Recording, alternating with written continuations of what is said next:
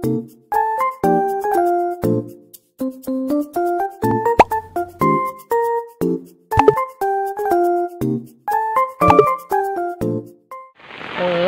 mga chika, magandang hapon, maulan na panahon.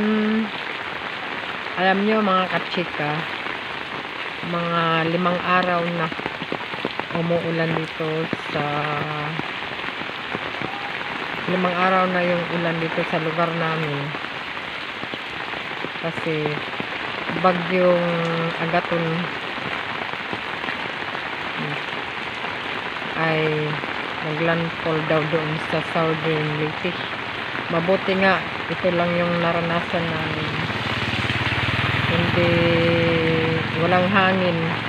Medyo hindi naman ganong kalakas yung ulan, mga kachika. Pero, kahit hindi malakas yung ulan, ito na yung tubig, mga kachika.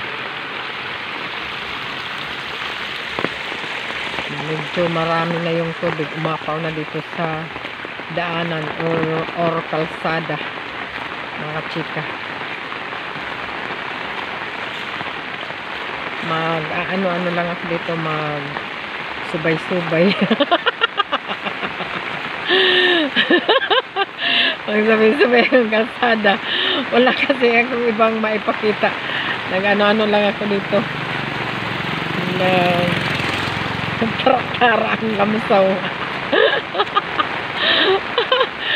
Ito yung lugar namin mga chika at saka by the way mga chika salamat naman mga chika na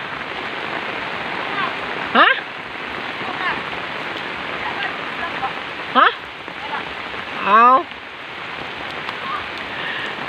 oh say hi anay hi. Hi. Ah! walang damit mga bata. Yung ano mataba yung isa. Yan. Orya buyag. Yung bahay na yan yun ang dati naming bahay. Sira na mga kachika sira na.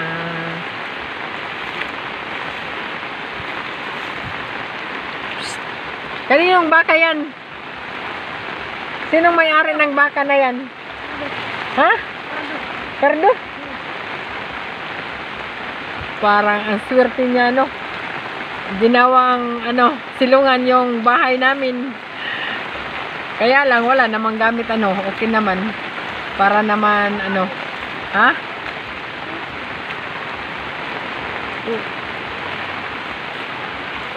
sabay-sabay lang muna na tayo ng ano kalsada. Sabay-sabay. Ito yung ano kanal para sa ano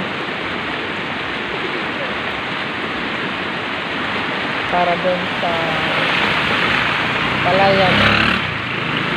Mga kachika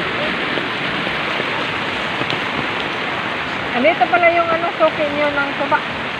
Asaan yung truck ngayon ha? nasaan yung truck umuwi na walang dalang tuba ba't nandun yung mga jug naiwan ah meron silang dala maraming dalang tuba Oh, resolve. Kailan sila babalik? Ay. Ayun na yung baka, oh. Maganda yung silungan. Kang kaya kanding. Imo. Ang serbi. Madami. Oh, ginawang ano? Silungan yung bahay namin, yung yung lumang bahay, ginawang ano? Silungan ng mga hayop. Alam nyo mga kachika, hindi naman nagpaalam sa may-ari. Ganun talaga dito sa lugar namin, yung ibang tao hindi nakakaintindi na mayroong may-ari na sa bahay, ng bahay na yan. Tapos, hindi man lang nagpapaalam sa may-ari, di ba? Para sa akin, hindi mabuting ugali yun. Walang respeto.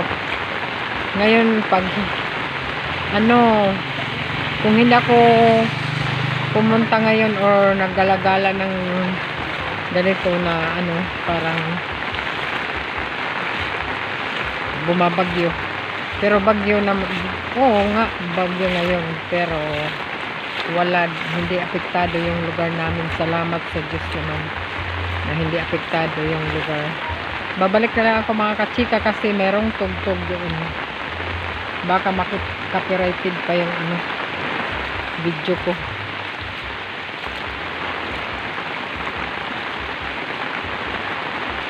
By the way, mga kachika, chika-chika muna tayo. Alam nyo, ah, pag-open ko ng Facebook kanina, mayroong nakapost na mayroong daw ano, landslide doon sa Baybay City. Kaya, siguro doon siguro naglandfall yung ano, bagyo. Ang announcement kahapon, ano, signal number 2 dito sa Biliran. Pero, salamat sa Diyos na ito lang yung ano ah, medyo umulan lang walang hangin. Hindi nga masyadong parang hindi masyadong ano malakas yung ulan kasi walang hangin. Pero bumaha bu, namaha namaha bumaha namaha bumaha pa rin. Kasi ilang araw na kasing umuulan dito mga kachika. Balik na lang ako kasi mayroong bahay doon sa ano doon sa dinadaan sa dinadaanan ko na nagpatugtog. Natakot ako baka makapiright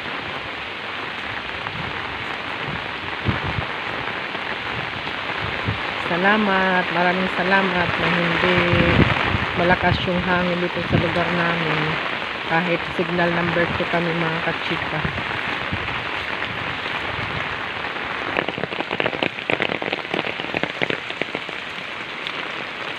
Alam nyo mga kachika ano meron lang akong na ano na observeran or ano ba yan? Ano ba tawag doon kasi 50 years old na ako ngayon mga kachika.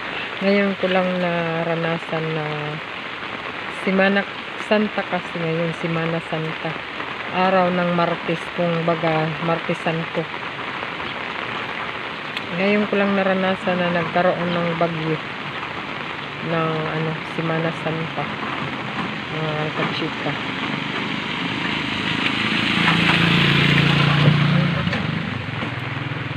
Kadalasan ano pag Semana Santa maaraw talaga. Mainit. Ngayon iba. Bagyo. Bagyo doon sa bagyo.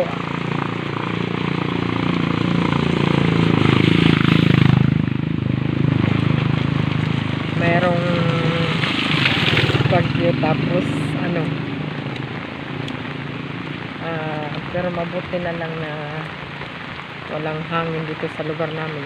Ang nakakaawang ano naapektuhan yung doon sa ano southern lake nakita ko kanina yung mga post sa FB na nagkaroon daw ng ano landslide doon.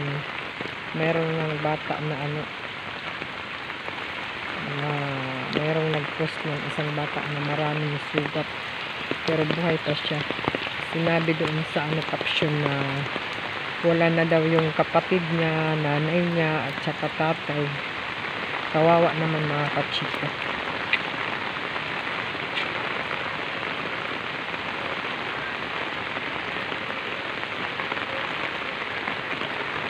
Dito tayo sa ano palayan.